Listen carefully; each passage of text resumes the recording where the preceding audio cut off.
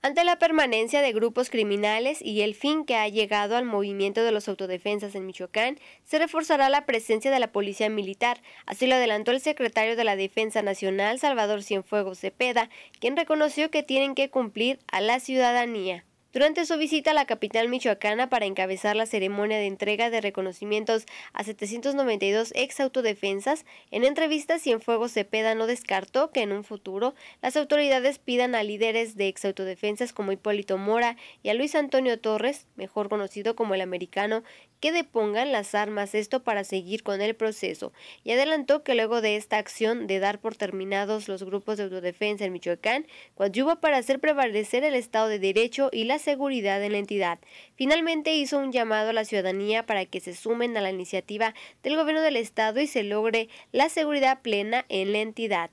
Para respuesta, Lilia Martínez.